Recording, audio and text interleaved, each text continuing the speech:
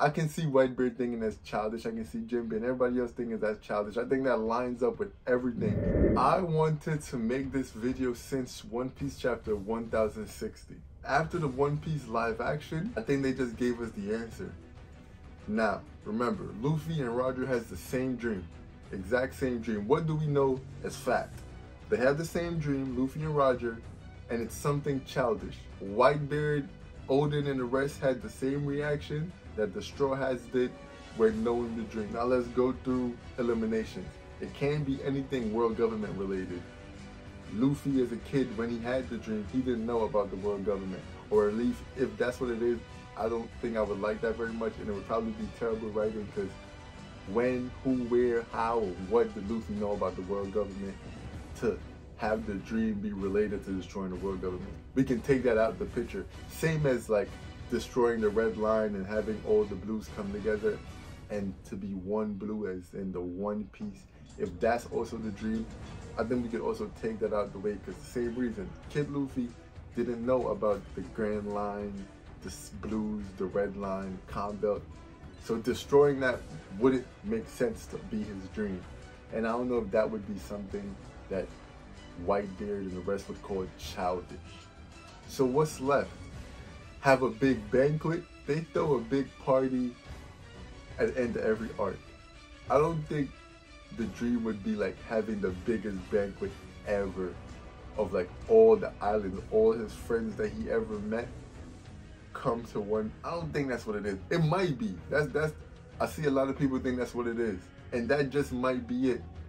But I just think there's a better option. Since Luffy was a kid, he wanted to be a pirate. Shanks was a pirate. Luffy wanted to be a pirate. Ace wanted to be a pirate. Sabo wanted to be a pirate. What do people say? Pirates are bad. Pirates are evil. You shouldn't be a pirate. Don't do that. Garp wanted to make him be a marine. Shanks told him he wasn't ready to be a pirate the first time he tried. And pirates are just known as these evil, notorious people. In a live action, Luffy keeps saying, I'm a different type of pirate. Shanks told him that you should be strong, but you should also be good. When Nami said all pirates are the same, all pirates are evil, all pirates are scum, he's like, not the pirates I know, referring to Shanks. Shanks is a very mellow guy, he don't go around destroying stuff that we know. Picking out his crew in a live action. Kept saying Zoro was a good guy, Sanji a good guy, Usopp a good guy, Nami a good person, a good gal. So I started putting the two and two together from the anime and the live action. And the live action gave me the confidence to actually come out and make a video of what I think Luffy dream actually is. And I think what his what he wants from since he was a kid actually makes sense was just to change the way people see pirates. Luffy's dream is to change the outlook on pirates as the new pirate king. He wants the imagery of plundering and villainy to move away. Of course, pirates probably would still do that. There's nothing he can do about that. But if he can do what he been doing, going to islands. Every time Luffy go to an island, he befriends that island, make friends of that island, and they become his allies. They, you've seen the reverie. Every princess that was there had nothing but great things to say about Luffy. From Alabasta to Dressrosa to Drum.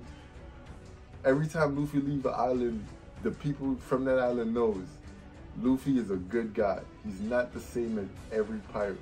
Now if Luffy can do that as Pirate King, that just expands the scale. At that point, you can say majority of the islands in the Grand Line, if he's a Pirate King, I think that's very safe to say, would have met him and known his true character.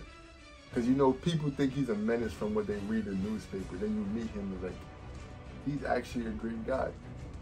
So from that, putting together, that's very childish.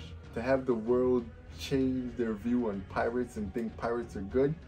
I can see Whitebeard thinking that's childish. I can see Jinbei and everybody else thinking that's childish. I think that lines up with everything. Roger could also wanted that because Roger wasn't just a wild meathead evil er, going around killing people either.